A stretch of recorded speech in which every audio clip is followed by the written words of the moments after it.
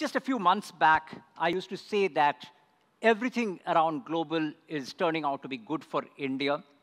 Uh, now, it's a bit mixed.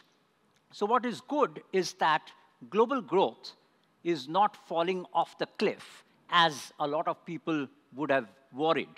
Uh, even in Citi, our house view was of a very slow global growth year of less than 2% global GDP growth. We have upgraded that a bit. The second factor that was a big positive to start with was that uh, interest rates globally would be cut significantly. Uh, the market expectation was that Fed will cut about 125 basis points or so. Now, it appears that because of the slightly higher growth and slightly more resilient inflation numbers, the expectation of interest rate cuts have come off